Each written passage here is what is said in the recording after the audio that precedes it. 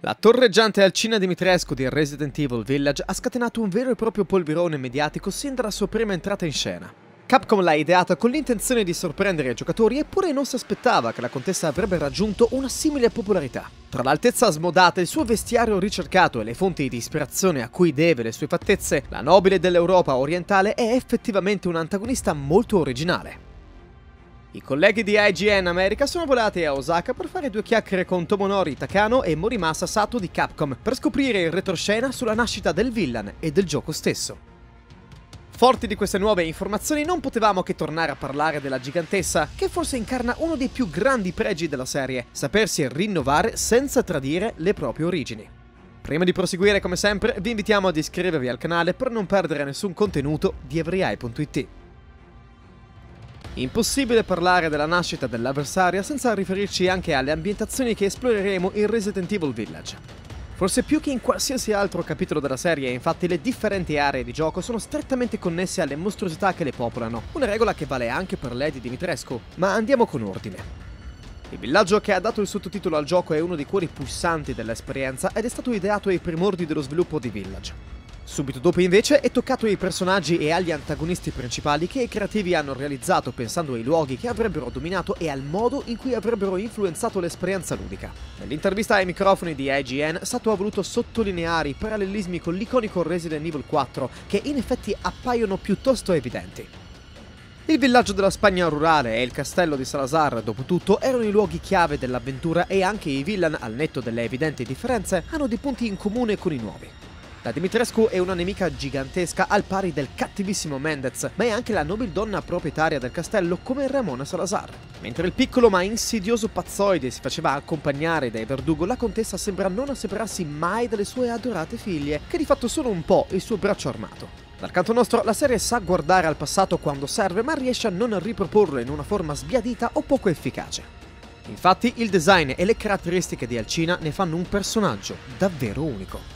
Gli uomini del villaggio non sono che del bestiame da cui succhiare il sangue e anche quando occupano posti di comando non superano di molto la bassa manovalanza, si pensi a Heisenberg o al Chris Redfield di Village, che per quanto ci riguarda potrebbe anche essere un semplice mutaforma. Tutto ciò in piena continuità con Resident Evil 7 contrasta apertamente quanto abbiamo visto nei precedenti capitoli. Excella Joyen e Carla Radames, le antagoniste secondarie di Resident Evil 5 e 6, non erano che pedine nelle mani di Albert Wesker e Simmons, mentre in Village è la Dimitrescu a tirare realmente le fila. In realtà, come gli sviluppatori hanno accennato, parrebbero esserci altri personaggi in grado di spiccare quanto la contessa, e noi non abbiamo potuto fare a meno di pensare alla misteriosa figura di Madre Miranda.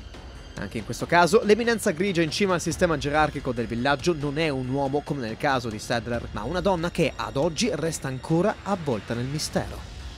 Al contrario, adesso conosciamo un po' meglio le figlie di Alcina che, oltre a essere molto diverse dalla madre, sia nell'aspetto che in altezza, sembrano possedere delle personalità agli antipodi.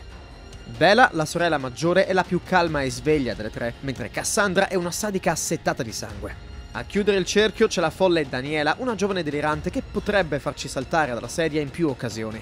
Ci auguriamo quindi che le sorelle e Alcina siano state caratterizzate adeguatamente.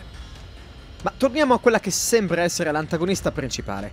Come abbiamo già detto, Lady Dimitrescu è nata nelle fasi iniziali del progetto, ma a piccoli passi e da una base insospettabile, Mia Winters. Al modello della compagna di Ethan infatti sono stati applicati un vestito e un cappello tipici della moda degli anni 60, nella speranza di conferirgli un look da fantasma. Il risultato però si è rivelato essere tutto fuorché spaventoso ed è solo quando gli artisti hanno cominciato ad aumentarne le dimensioni che il fattore orrorifico è tornato ad alti livelli.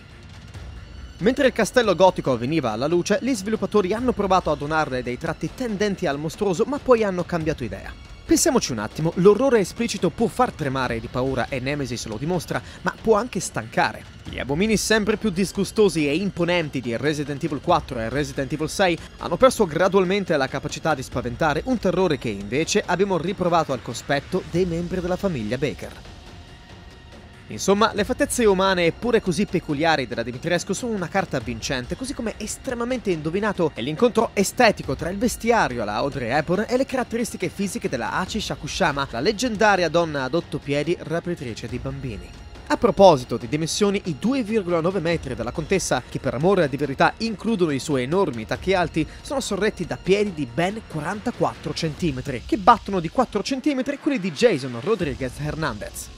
Non a caso, Takano ha ingigantito un vero paio di tacchi alti per approntare quelli della gigantessa. È così che le cento streghe nude che abitavano il castello si sono trasformate nella famigliola degli orrori che ormai ben conosciamo, formata da tre streghe vampire e dalla loro madre. Infine, tramite i canali social di casa PlayStation è stato annunciato un ulteriore showcase dedicato al survival horror, in programma per la prossima settimana. L'appuntamento nello specifico prenderà il via alla mezzanotte del fuso orario italiano, nella notte tra giovedì 15 e venerdì 16 aprile. Nell'attesa di scoprire nuovi dettagli su Village, vi lasciamo la parola. Fateci sapere nello spazio dei commenti quali sono le vostre aspettative sul gioco.